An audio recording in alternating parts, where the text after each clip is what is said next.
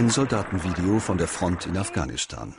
In der Nähe von Kunduz Ende Oktober 2010.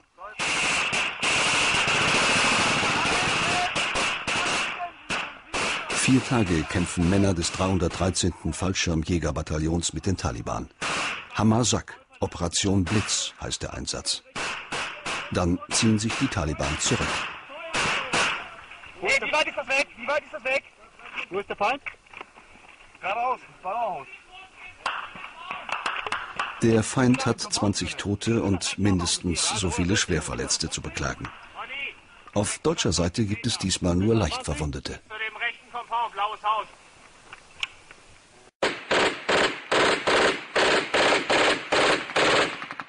Afghanistan Ende Oktober 2010.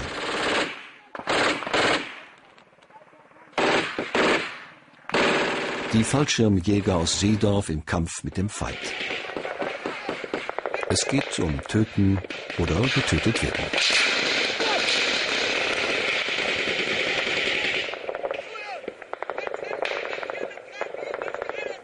Hardy! Hardy! Der Scharfschütze des Zugs ist erfolgreich. Bereich 1, ich mach Bereich 2 graben. Los, weiter! Achtung, RPG! Achtung, runter! RPG. Ein kurzes Zischen nur, dann schlägt die Granate ein. Abgefeuert aus einer RPG, einer Panzerfaust. Bilder von kämpfenden Bundeswehrsoldaten während eines Gefechtes in Nordafghanistan. Wow! Wow, runter, runter, runter! Der Feind ist kaum zu erkennen. Irgendwo da hinten, zwischen den Häusern, einige hundert Meter entfernt. Der war genau auf dem Dach! Dach!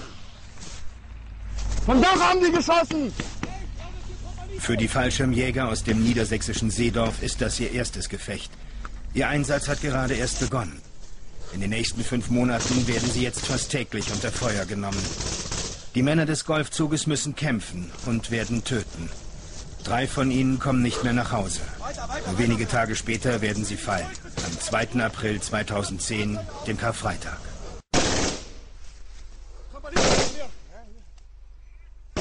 Erstmals gibt es Bilder des Gefechts vom Karfreitag. Nach einem Taliban-Angriff haben sich die Soldaten des Golfzuges nach Isakeel zurückgezogen, einem Dorf knapp sechs Kilometer vom deutschen Lager in Kunduz entfernt, mitten im Taliban-Gebiet. Es sind 32 Männer, von der Kompanie und dem Nachschub abgeschnitten.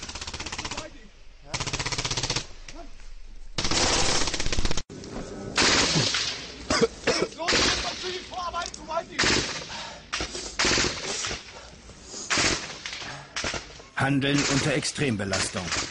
Es dauert eine Stunde, bis die Soldaten des Golfzuges den Feind ausmachen, wissen, von wo geschossen wird. Am Ende kämpfen die Fallschirmjäger neun Stunden lang. Neun Stunden Todesangst. Am Karfreitag hat der Golfzug seinen ersten Verwundeten gleich zu Beginn des Gefechtes.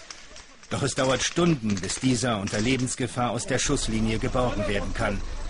Dabei wird Robert Hartert angeschossen. Der stirbt zwei Stunden später im PRT Kundus, dem deutschen Feldlager.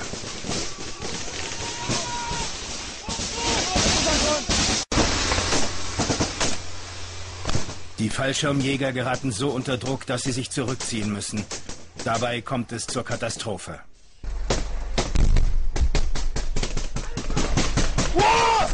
Einer der gepanzerten Dingos fährt auf einen ferngezündeten Sprengsatz.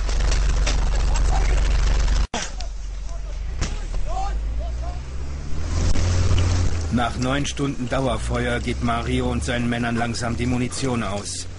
Einige der Gewehre fallen wegen Überhitzung aus.